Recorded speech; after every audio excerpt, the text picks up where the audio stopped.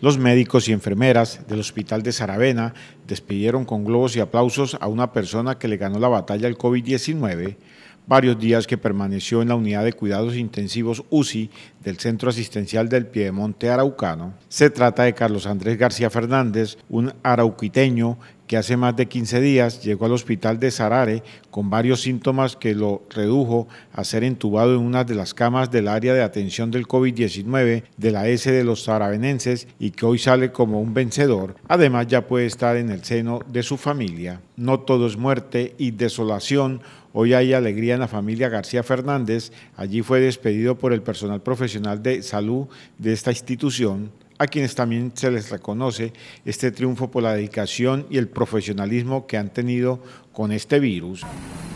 Primeramente, quiero darle gracias a Dios por darme otra oportunidad de vida, por estar aquí con ustedes y segundo, a todos ustedes, a los que dieron un granito de arena para que yo saliera de esa crisis en la que me encontraba, ya que llegué bien, bien jodido.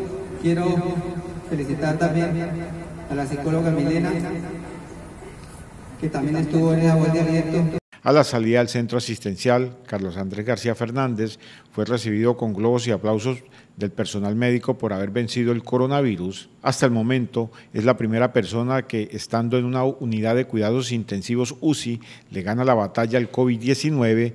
Por el momento, Carlos García regresó a su hogar luego de 15 días de permanecer en el hospital de Saravena. Por último, le envió un mensaje a todos los habitantes del departamento de Arauca para que mantengamos las medidas de bioseguridad, usar el tapaboca permanente, lavado de manos, distanciamiento físico y no salir a las calles innecesariamente.